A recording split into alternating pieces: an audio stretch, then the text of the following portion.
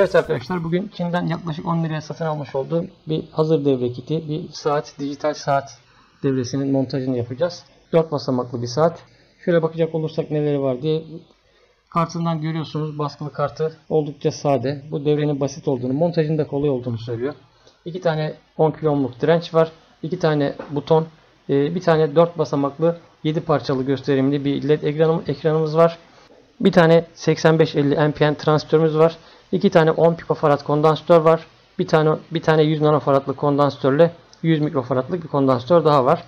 Girişleri e, kabloları bağlayabilmek için bir Clemens, 12 MHz'lik bir tane kristal, e, bir buzzer, 20 bacaklı bir tane entegre var. AT89C2051 diye ve ona ait soket. Zaten bütün işlemi yapan da saatte bu. Onun yanında bir tane sıralı direnç var. A102G diyor. 1 kilo ohmluk e, direnç. Burada şekli böyle arkadaşlar. Şu gördüğünüz resimdeki direnç aslında en baştaki bacak tüm dirençlerin ortak ucu. Diğerleri de birbirine eşit 8 tane direnç, 8 tane bacakta. Bunlar mesela ledler için koruma dirençleri yapıyorduk. Ledli devrelerde çok işimize yarayacak. Niye 8 tane direnç bağlamak yerine bu sıralı dirençten bir tane bağlarsak bizim işimizi görecek. Ee, ambalajından da çıktı bir devre şeması var. Büyüklüğü de işte 5 santimetreye 4 santimetre büyüklüğünde bir baskılı devresi var.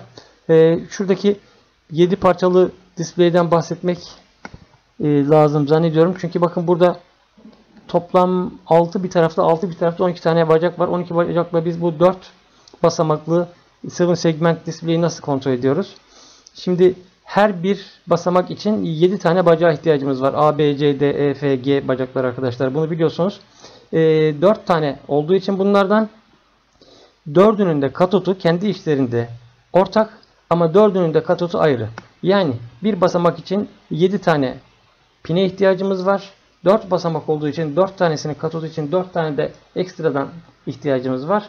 11 yapıyor. Bir de e, ortada bir de ortada bu yan, yanıp sönen e, üst üste 2 nokta var. Toplam 12 bacakla biz bu 4 basamaklı e, 0.56 inç display'i kontrol edebiliyoruz. Şimdi montajımıza bakabiliriz. Evet arkadaşlar bugün yine Çin'den aldığımız bir hazır devreyi montajını yapıp inceleyeceğiz. Bu bir saat devresi.